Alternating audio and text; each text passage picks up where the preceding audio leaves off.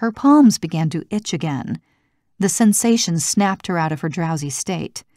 Her promise to leave the house faded away as the need to draw took over, but she managed to pour her coffee first.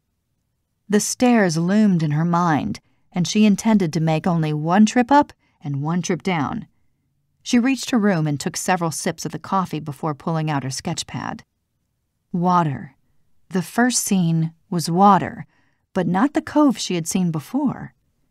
She let her hand make its own choices, choosing colors and charcoal, creating places she didn't recognize.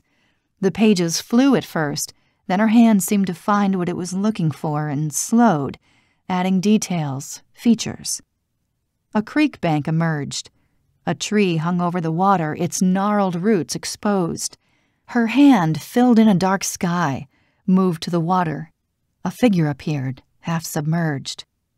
Waves of pain and fear washed over Alex as she drew. This one, a woman, she thought, knew what was coming, felt it all. A harsh, acidic taste burned Alex's throat. Another page, another figure, an indistinct figure, a man, naked, standing in water to mid thigh. The creek. His back was to her as he leaned over, washing himself. A pile of clothing lay on the bank nearby. Her hand found the deepest crimson, smeared it on the man's arms. Nausea roiled in her stomach. The crimson stain found its way to the grassy bank and then the creek, spreading in the chill water. As she finished the drawing, she realized he was washing away blood.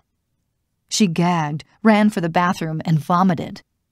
This time, there'd been a great deal of emotion from both the victim and the murderer. That's when the drawings were strongest, when she saw the most. Finally, the pictures faded out of her reach. She flushed the toilet, then bent over the sink and splashed cold water on her face. The horror stayed with her. She turned on the hot water and stepped into the shower, needing the ritual cleansing.